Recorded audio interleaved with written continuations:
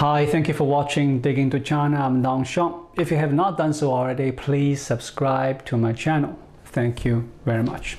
In recent days, a significant issue has gained attention on the Chinese internet. The leaked minutes from the Kunming Urban Investment and Construction Expert Conference have sparked extensive discussions among China's financial and economic circles and social media platforms. These minutes have caused shock among different groups as they uncover discussions among experts from banks and investment institutions concerning the status of local government debts and the financial situation of the government in Kunming. The revealed information is alarming and sheds lights on the embarrassing problems of local government debt in China.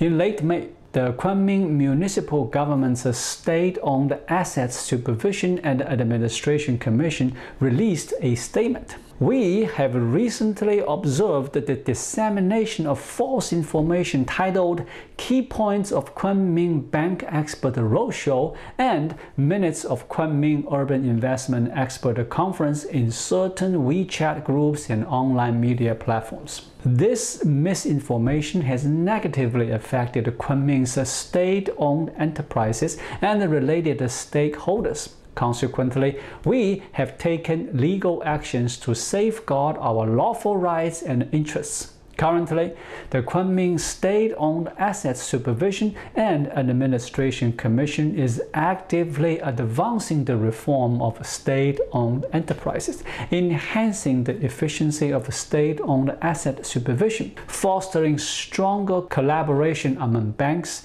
government entities, and enterprises, and actively contributing to the overall development of the city. We wholeheartedly seek deeper cooperation with various sectors of society in various fields. We kindly urge everyone to critically evaluate online information, refrain from believing and spreading rumors. Regarding the previously circulated conference minutes on the internet, here are my takeaways. Firstly, the official clarification from Kunming is an unusual form of confirmation. It does not explicitly deny the existence or authenticity of the circulated minutes, but rather asserts that it is a debunking. This raises questions about its true meaning. The statement does not refute any specific content within the minutes as false, nor does it provide a direct rebuttal. However, by emphasizing the debunking aspect, it inadvertently implies the authenticity of the minutes. Furthermore, the official response from Kunming sidesteps addressing the intended points of dissemination. Instead, it focuses on the generic appeal of not believing or spreading rumors, which lacks substantial content. The main points addressed in this circulated document on the internet are as follows. One, there is a notable concern regarding the risk of local government debt default due to insufficient funds and a considerable repayment pressure.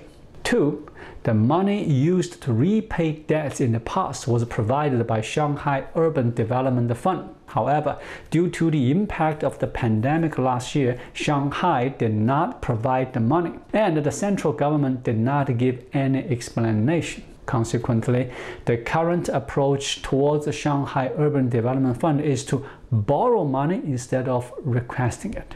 3. Local urban investment uh, companies have been facing a significant issue of salary payment delays for a period ranging from 3 to 4 months. The Kunming Municipal State-Owned Asset Supervision and Administration Commission did not deny any of these key points. Why is the main reason this circulated document has had such a significant impact on Chinese society? One crucial aspect is that one of the points raised directly affects the interests of every ordinary person. This has generated widespread attention not only within the financial industry but also among ordinary internet users who have actively joined the discussion. Within the document, someone raised a question. The question is, does the provincial government still have funds? Will they ultimately rely on enterprises? The response indicated that there are still some funds available. To illustrate, examples were given such as Social Security funds, Medicare funds, and Housing Provident funds. This revelation had a profound impact. What message does it convey to society? Currently, local finances are depleted, and in order to sustain government operations and bridge the gap in local debt, the only remaining option is to deduct from Social Security Fund, Medicare funds, and Housing Provident funds. This directly affects the immediate interests of every citizen. Hence, this circulated document has caused a significant shock in Chinese society. In the past, people used to discuss and even mock the misfortune of local government debt. However, little did they know that the local governments had long been planning, essentially saying, if I'm in trouble, I won't let you fare any better. As a result, this incident has sparked extensive discussions in Chinese society because people have suddenly realized that local debt is directly related to their personal interests.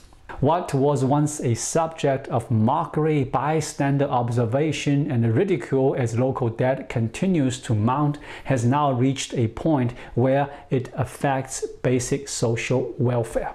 Why did the refutation statement from the Kunming municipal government not address specific details of the circulated document? The reason is that many of the details mentioned in the document can be verified through official information sources. For instance, the document claims a significant decline in fiscal revenue from land sales in Kunming, dropping from the level of hundreds of billions to tens of billions. Is this an exaggeration? No, it is not.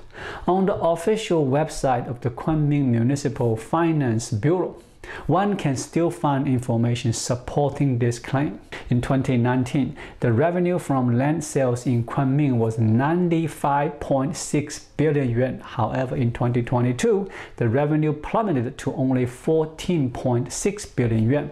This substantial drop from the level of hundreds of billion to tens of billion is not an exaggeration. Hence, the official refutation from Yunnan province refrained from pinpointing which specific statement in the document was incorrect. Instead, they opted for a general statement advising people not to believe or spread rumors. Even the official media had previously reported that the Kunming's overall debt ratio had significantly risen to 81.5%. It is projected that the Kunming's general public budget revenue for this year will reach 54.6 billion yuan, showing a 7% increase compared to the previous year. However, this growth is insufficient to offset the substantial decrease in land revenue, resulting in a growing budget deficit. And the fourth point, it is important to understand how local government debts are formed and why they continue to increase. By grasping two key concepts, one can gain a better understanding of China's local government debt. Since 2017, the local government debt balance in China has been increasing at an annual rate of 16.3%. In contrast, the nominal GDP growth rate during the same period was only 7.8%. The growth rate of debt surpasses that of the economy, more than doubling it. As a result, this debt can only continue to escalate, reflecting a concept where the debt keeps accumulating and expanding. The second concept pertains to the formation mechanism of local government debts. How are these debts formed?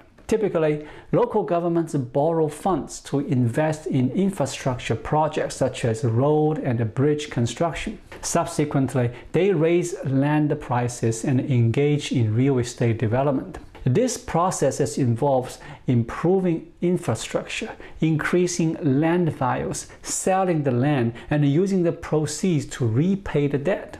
Once the debts are repaid, local governments continue borrowing for further infrastructure projects, resulting in a continuous growth of debt. The underlying reason is that the borrowed funds for infrastructure projects which primarily serve public welfare rather than profit cannot be fully recovered. Although these projects do not generate returns, interest payments need to be made. How are these interest payments covered?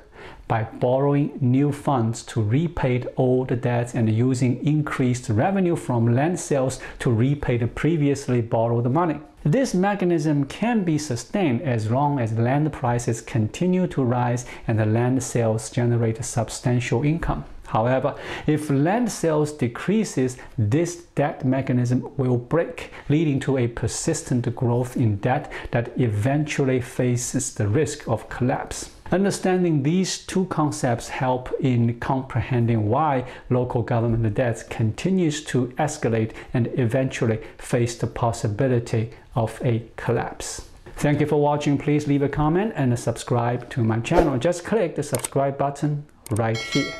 I'll see you again shortly. Until then, be well.